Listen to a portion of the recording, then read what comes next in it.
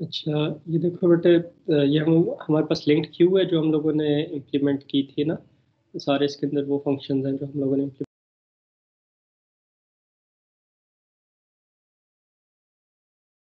Push करा दी। और, अब हम लोग क्या करते हैं? एक और क्यू लेते हैं क्यू करेक्टर क्यू टू ठीक है?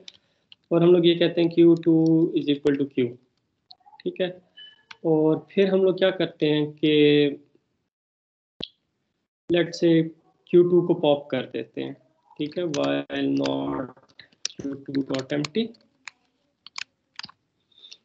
Q2 dot pop उसके सारे एलिमेंट्स को निकाल देते हैं, ठीक है?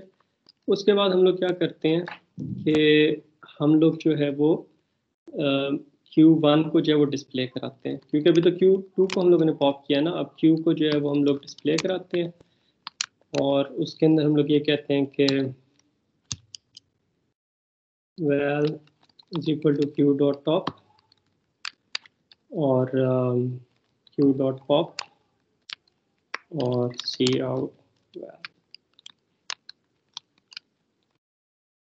val तो मुझे बताओ इसके अंदर कोई आपको मसला नज़र आ रहा है? It's all fine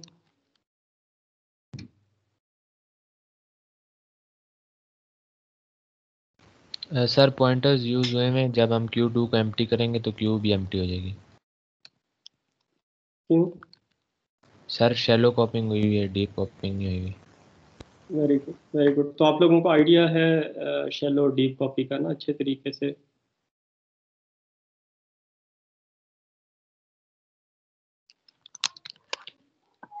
ओके हम लोग इसको जो है वो कंपाइल करते हैं उसके बाद रन करते हैं देखते हैं वापस कोई एरर आता है या नहीं। तो अब आप देखें कि हमारे पास जो है वो आ, एक एरर आ गया कि बेसिकली मेमोरी का हमारे पास मेमोरी एलोकेशन का जो एरर है और हमारा प्रोग्राम क्रैश कर गया। लॉजिकली हमारा प्रोग्राम जो है सॉल्व फाइन ठीक है? लेकिन अगर हम लोग इसको कंपाइल करते तो ये रन नहीं होता। तो जिस तरह आप लोगों ने आइडेंटिफाई किया है कि इसके अंदर शेलो कॉपी हुई हुई है तो ये जो प्रॉब्लम है, ये हमारे पास शेलो कॉपी की वजह से है। इस प्रॉब्लम को हम लोग कैसे रिजॉल्व कर सकते हैं कि ओके पहले हम लोग यहाँ पे प्रॉब्लम देख लेते हैं कि जहाँ पे हम लोग Q two is equal to Q one करें, यहाँ पे हम लोग एक ब्रेक पॉइंट लगाते हैं और अपने प्रोग्राम को डीपक करते हैं।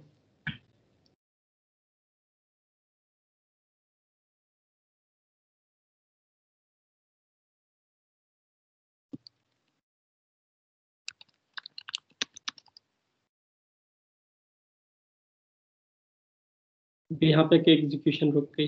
अब आई नो इसका फॉन्ट जो है ये डीबगर का थोड़ा सा छोटा है। इसके अंदर शायद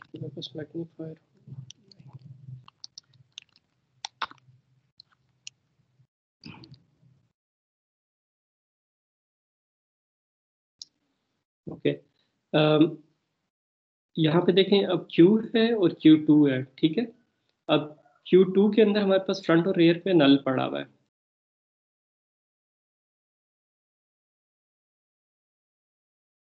तो शायद आपको नज़र आ जाए, इसके आखिर में फाइव थ्री थ्री ज़ीरो लिखा हुआ है। मतलब जो फ्रंट पॉइंटर है, वो जिस नोड को पॉइंट कर रहा है, उसका एड्रेस के आखिर में थ्री थ्री ज़ीरो आ रहा है और उसका जो रेयर पॉइंटर है, उसके एड्रेस में जिस नोड का एड्रेस पड़ा हुआ है, उसके आखिर में फाइव ज़ीरो आ रहा है।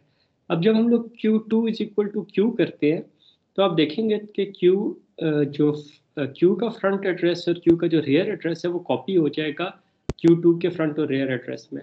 तो जब हम लोगों ने इक्वल टू किया तो आप देखो कि वो जो फ्रंट एड्रेस है फाइव थ्री थ्री ज़ीरो वो इधर फाइव थ्री थ्री ज़ीरो हो गया और फाइव थ्री फाइव ज़ीरो इधर फाइव थ्री फाइव ज़ीरो हो गया।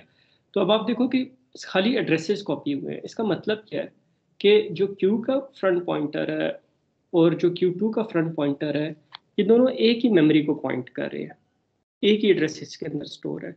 तो अब अगर हम लोग क्यू टू के अंदर कोई एक्शन परफॉर्म करते हैं तो उससे, उसका इम्पैक्ट जो है वो क्यू के ऊपर भी होगा। ठीक है? जिस तरह हम लोग क्या करते हैं?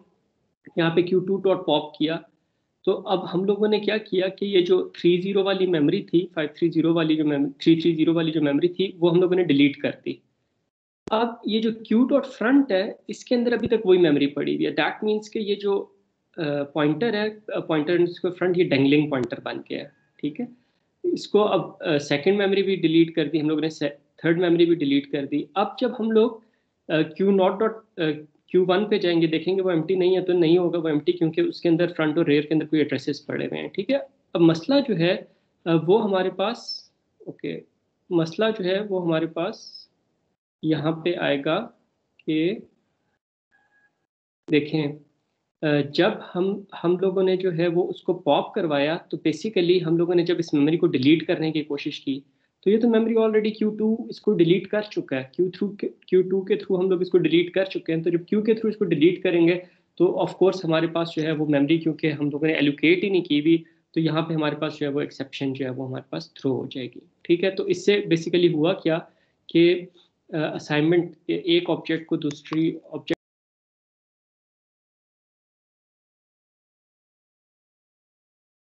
खासतौर पर क्यू वन जो था, उसका डाटा जो है वो हमारे पास करप्ट हो गया। या अगर हम लोग क्यू के ऊपर ऑपरेशन परफॉर्म करते तो क्यू टू का डाटा जो है वो हमारे पास करप्ट हो जाता। तो बेसिकली डाटा करप्ट हो जाना था क्योंकि दोनों ऑब्जेक्ट्स डिफरेंट हैं, लेकिन मेमोरी सेम यूज़ कर रहे थे। ठीक है?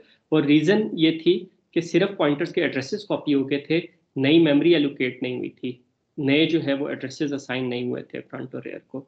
तो अभी हम लोग देखते हैं कि इस चीज़ को हम लोग कैसे रिजॉल्व कर सकते हैं।